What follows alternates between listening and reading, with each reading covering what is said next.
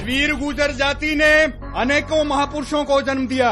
गायत्री माता, जो ब्रह्मा जी की अर्धांगनी रही, नंद बाबा, जो भगवान कृष्ण के पालक पोषक रहे, राधा जैसी गुजरी, जो भगवान कृष्ण की संगनी रही, सवाई भोज जैसे वीर पैदा हुए, जिन्होंने अपने वचनों के लिए रानी जयंती को अपना शीश काट कर दे दिया। साधु माता जैसी गुजरी पैदा हुई, भगवान देव नारायण ने कमल पुष्प में अवतार लिया, और साधु माता की झोली में आकर खेले।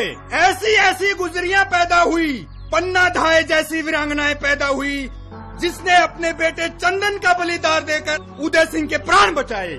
विजय सिंह पथिक जैसे क्रांतिकारी नेता हुए, जो राजा महाराजा किसानों को लूटा करते थे, उनके खिलाफ आंदोलन चलाकर किसानों को मज़बूत किया। सरदार वल्लभ भाई पटेल जैसा महापुरुष पैदा हुआ, जिन्होंने पूरे देश के राजा महाराजाओं की विरासत को एक करके नव भारत का निर्माण किया। धन सिंह जी कोतवाल हुए, जो सबसे पहले मेरठ में गुजर चौक से अंग्रेज़ों से लड़ने का बिगुल बजाया और सबसे पहले गुजर शहीद हुए। इस वीर गुजर जाति ने लाखों बच्चों की कुर्बानी दी है। इस देश की रक्षा के लिए अंग्रेज़ों की नाक में नकेल कसने वाले आप गुजरों को अंग्रेज़ों ने क्रिमिनल ट्राइब यानी बदमाश समुदाय कहकर पुकारा था। कालांतर में जब गुजरों ने अंग्रेज़ों का खुलेआम, कत्लेआम शुरू कर दिया तो इन गौरों की सरकार ने आपको बागी घोषित कर दिया। इसी वजह से आप गुजरों ने जंगलों और पहाड़ों में रहना शुरू कर दिया।